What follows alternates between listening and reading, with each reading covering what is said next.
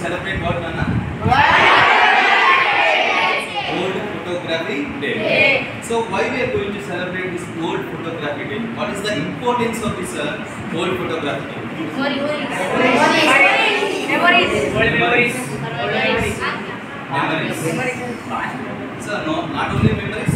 Is there, is there any other uh, things too? Feelings? Yes,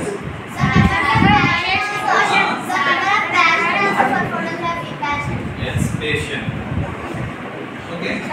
So okay, I will ask one question to you.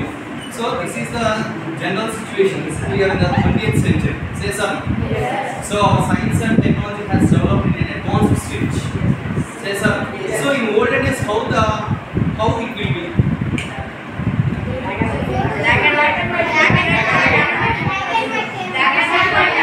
Black and white cameras and all these all these things are there. That is, uh, we are talking about the 19th century. Then what about the 18th century? So we do not have the cameras.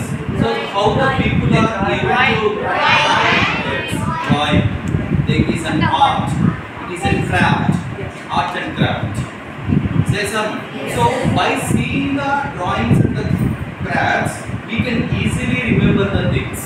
Say some. Yes. So, so by this uh, chance, uh, there are a, a, the two persons, uh, there are the two persons.